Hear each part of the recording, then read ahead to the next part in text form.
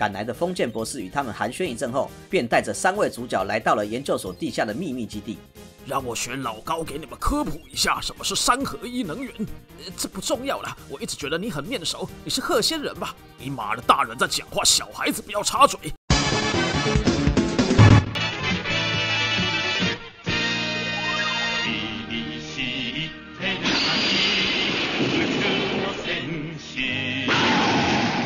大家好，欢迎收看不负责任热血君。首先感谢各位超级热血的看官们支持，这个介绍超级机器人的冷门小破频道才能够维持至今。先在这里预祝各位二零二三年事事顺心，也请各位同好们能继续支持本频道，让频道可以推广更多怀旧的超级机器人动画。今天要来介绍一部大叔们儿时断番没看完结局的怨念动画《宇宙大帝神圣西格玛》。日本于一九八零年三月十九日至一九八一年二月二十五日期间，在东京电视网每周三下午七点半至八点播出。为什么说这部是台湾大叔们的怨念呢？因为早期台湾收看动画的小朋友是没有人权的，大人也不会重视。电视公司说断番就断番，我也给你一个理由。于是可怜的宇宙大帝便被拆成两个时段播出，导致很多大叔们都没有看过结局。而这部宇宙大帝可能名气不如黑豹传奇、六神合体雷霆王的缘故。很诡异的，再也没有重播过了。宇宙大帝在台湾的播映时间是一九八八年一月四日至四月二十五日，于每周一下午六点至六点三十分播出部分集数，之后断番延至同年八月五日至一九八九年四月七日间，时段也改至每周五下午五点至五点三十分复播其余剧集。这样的骚操作让很多小朋友们根本不知所措，无法看完完整的剧情啊。日本方面，本片也没有很受重视。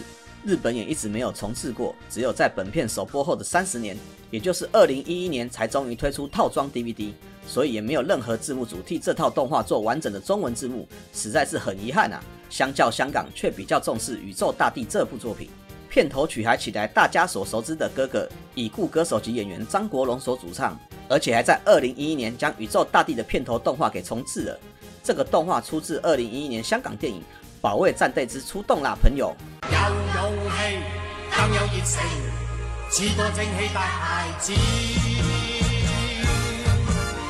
宇宙大帝虽然动画在台湾不受重视，但超合金玩具跟穷小孩的便宜塑胶玩具，可是在台湾卖得非常好啊，常常出现在一般小卖店、文具店、百货公司里，直到现在都能够看到宇宙大帝早期的超合金玩具都还在贩售中哦。那么废话就不多说，关于宇宙大帝剩下的趣闻，下集再来讨论。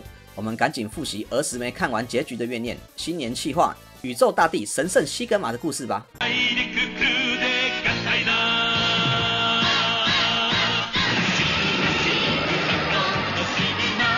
この番組は不负责任风动漫，不负责任热血军。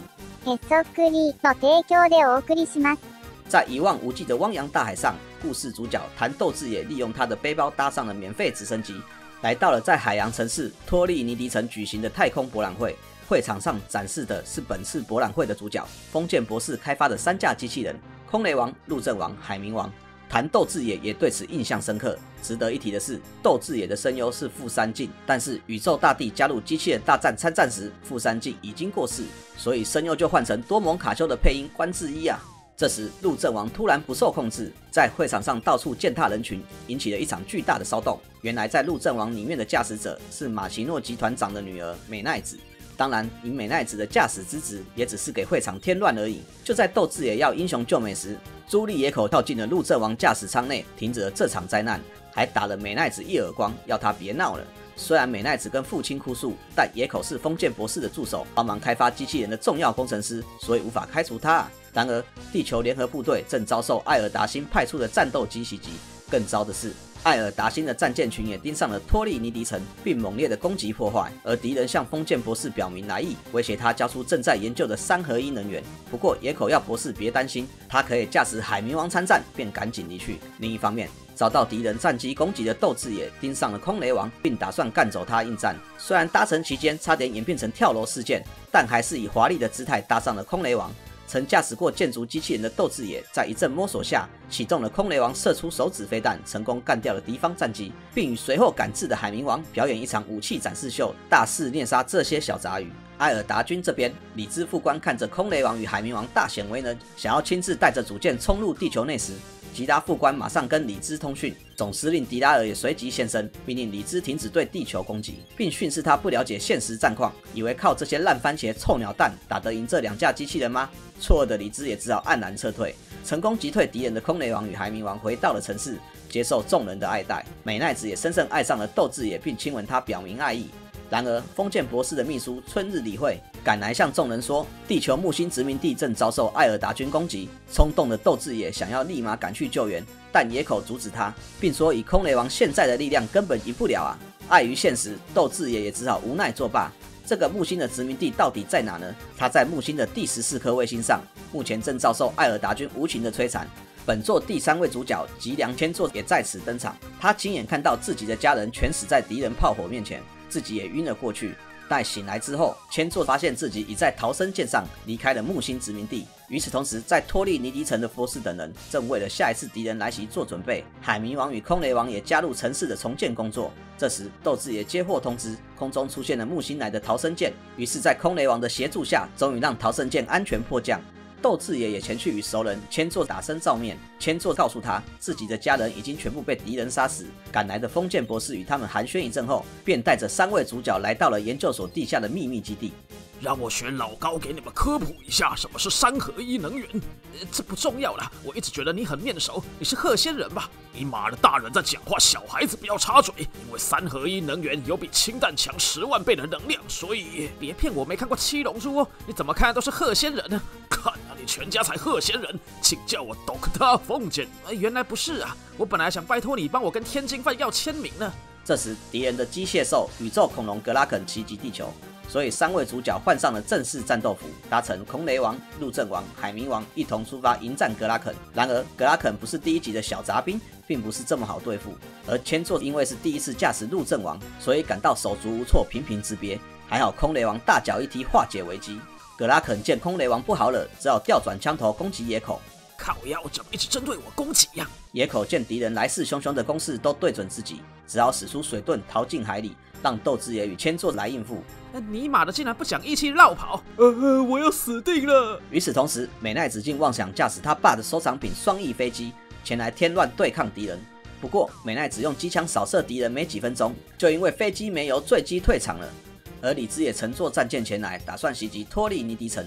三合一能源面临被抢的危机，封建博士表示绝不能交出三合一能源，所以将基地浮出地表与战舰对抗。千坐在驾驶舱，看见了攻击他家乡的战舰，非常的愤怒，随即驾驶陆阵王对格拉肯使用粗暴的体术痛扁一顿，是要为家人报仇，并成功将敌人丢入大海。而基地这边的战况，因为空雷王与海绵王赶来护驾，暂时保住了被摧毁的命运。李知健干不过对手，只好赶紧撤退。虽然千座赢得胜利，但野口却对千座粗暴的操纵陆阵王很是不满，认为他这种打法无论有多少架陆阵王都不够用啊，便建议博士将千座从团队中剔除。然而基地却引发了一场大地震，原来掉落到海底的格拉肯仍然活着，并试图从水下摧毁城市，以获得三合一能源。顿时间，城市遭受了空前的浩劫。美奈子为了躲避海浪吞噬，试图往高处爬，在混乱中却被老爸扒下裤子，实在有点糟糕啊！千座看到城市的惨况，便告知斗志野：“我们的故乡伊欧就是这样被敌人摧毁的。”斗志野看着千座难过的表情，也想起了在伊欧与父母生活的愉快场景。这时，野口跟大家说他已经找到了敌人的弱点，但是想先卖个关子。于是三人便赶紧驾驶机器人出发抗敌。陆阵王在赶路期间率先离队，使用脚底的钻头钻入地底。接着，海冥王照惯例潜入海底，陆阵王则倒栽现身。无奈的野口只好先发射飞弹攻击格拉肯，千座便赶紧配合发射地震弹助攻。空雷王见海底起了不小波澜，马上朝水底射出手指飞弹掩护攻击。在三人合力的飞弹攻击下，格拉肯只好浮出水面。野口见时机已到，马上执行自己的计划。射出搜索弹贯穿敌人体内，因此找到了敌人的控制中枢。博士便赶紧将弱点通知斗志野等人。于是空雷王马上拿出空雷弓，朝格拉肯弱点射出雷霆一箭，贯穿了敌人的眉心，粉碎了敌人。虽然这次危机在三人团队合作之下解除了，但早前格拉肯对城市的重创，促使三合一能源的储存设施不稳定，引发了大爆炸。幸运逃脱的封建博士见大事不妙，赶紧集合斗志爷等人，趁机再次对大家科普一下。博士，可以不要再跟观众科普了吗？没有小茉莉帮腔，根本就没人想看鹤仙人科普啊！哦，好吧，那我就教大家怎么使用洞洞坡好了。哎，喂，尼玛的都说我不是鹤仙人了。于是博士便开始讲述三合一能源是来自维度扭曲的能量，需要特殊的超重金属来制造和储存。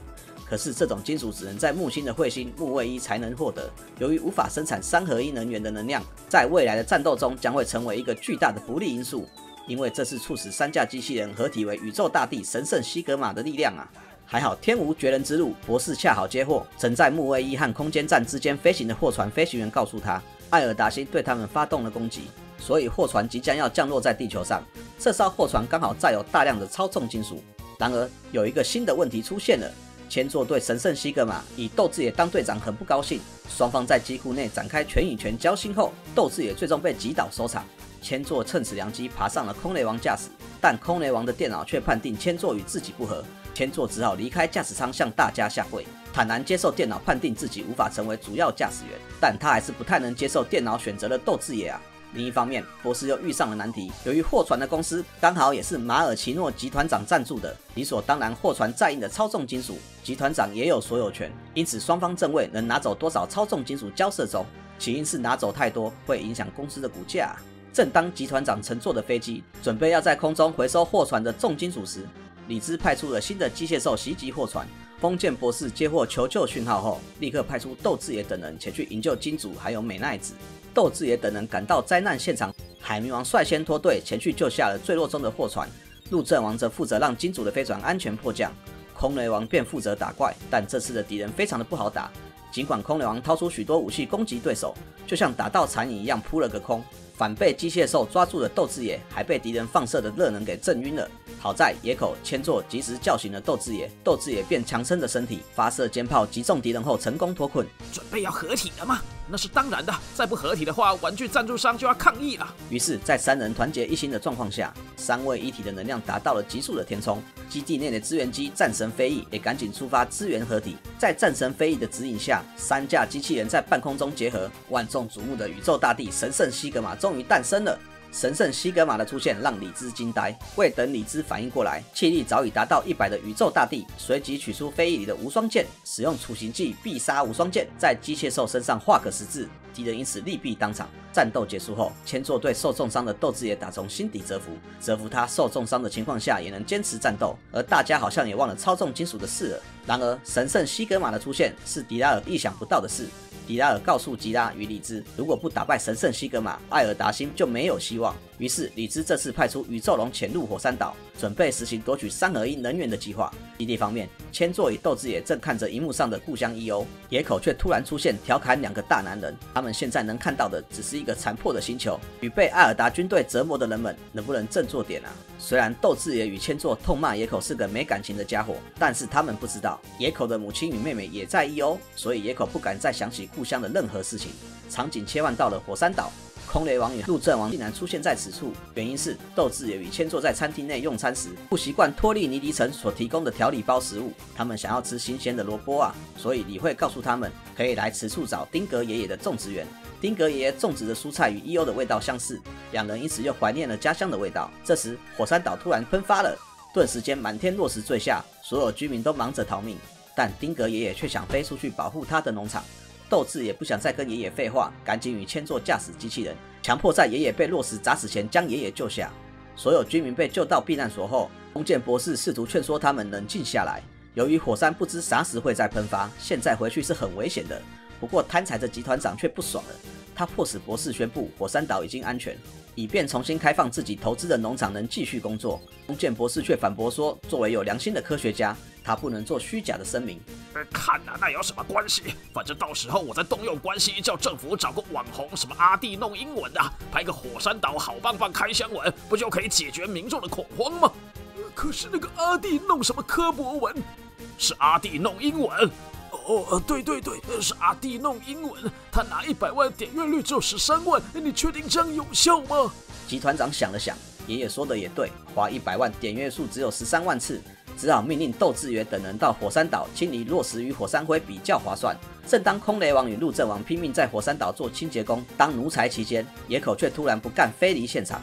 原来野口不是偷懒，他联络封建博士，并告诉他海底里有个人为制造的洞穴，肯定跟这次火山喷发有关。于是李慧推测，这可能是艾尔达星人干的，但集团长却听不进去，吵着要开除不听他话的博士与丁格爷爷。与此同时，第二波火山爆发又开始了，大家也都看到引起火山爆发的元凶是宇宙龙啊。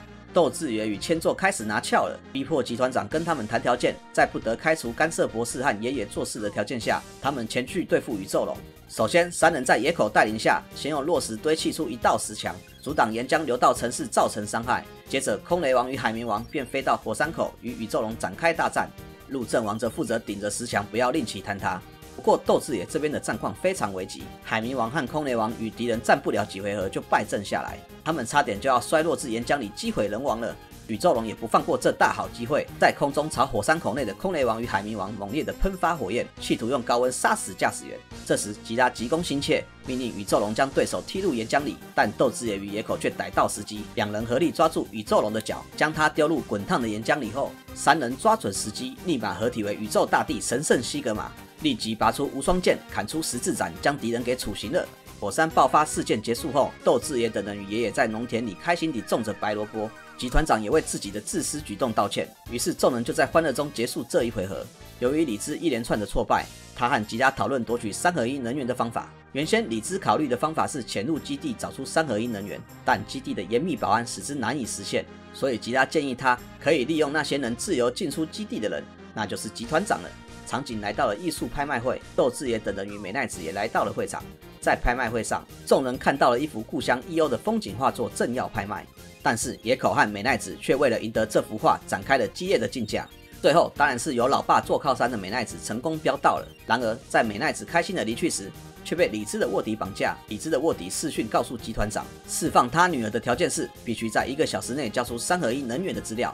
迫于无奈下，集团长只好试图潜入档案馆。窃取三合一能源的资料，但他的行动却被赶来的野口阻止了。野口得知集团长的苦衷后，提出了一个营救美奈子的计划，条件是他的月薪要翻倍啊，并且要把他女儿赢得的 E.O 画作交出来。野口的计划是把自己伪装成集团长，让自己被敌方士兵带往李兹手下所在的潜水艇做交易，成功换回了美奈子。但不幸的是，野口的手表却突然发出封建博士的声音，李兹手下赶紧夺下手表并铲碎它，野口却反倒不担心，露出了诡异的微笑。与此同时，焦急的封建博士召集众人商讨发生什么事，赶来的集团长也跟大家坦诚女儿被抓了，才不得已盗取出三合一能源的资料。封建博士跟集团长说：“你盗取的资料是假的，因为能源资料是最高机密，资料经过特殊处理，所以无法复制。”斗志也便安慰集团长，他会想办法将美奈子救出。于是，空雷王与陆阵王赶紧出发，到海面上搜寻讯号断点处。潜水艇这边，李知正通知自己的手下，野口交出的资料是假的。而被关押在房间里的野口，掏出了预藏的工具笔，塞入门上的钥匙孔，将其破坏后，便带着美奈子赶往机库，搭乘小型潜艇，准备逃到岸上。不过李知并不担心，他告诉手下，小型潜艇有安装特殊炸弹，一旦炸弹与空气接触，便会引爆。原来，就算集团长交出资料，李直也不打算留活口啊。还好，这消息被穿着潜水服在潜艇外偷听的斗志也听到了。他见到野口等人成功搭乘小型潜艇逃脱后，便赶紧来到野口面前，示意野口他搭乘的潜艇有安装炸弹。于是野口放下斗志野，让斗志野取出水下枪，发射飞弹，提前引爆了特殊炸弹。还好炸弹在水里引爆，所以威力不足以马上摧毁目标。野口等的也顺利逃脱，乘坐潜艇内附属的水上摩托车，继续往岸边行进。自知行动又失败的李兹派出莫拉龙来攻击他们，是要一雪全耻。敌我双方交战一阵后，空雷王被敌人的尾巴给击中，坠落海底。还好海冥王及时从水下将空雷王打捞上来，于是三人赶紧合体为宇宙大帝，立刻拔出无双剑，一刀就将莫拉龙给宰了。连潜水艇也被爆炸的余波吞噬。事件结束后，野口带着先前承诺的画作与众人道别后离开。但在野口离开时，唇布却掉了，被千座捡了起来。他翻开来看，发现唇布上面的名字是别人的。李慧却赶紧将唇布抢走。他认为野口有个女友是很自然的，所以大家不应该再追问下去。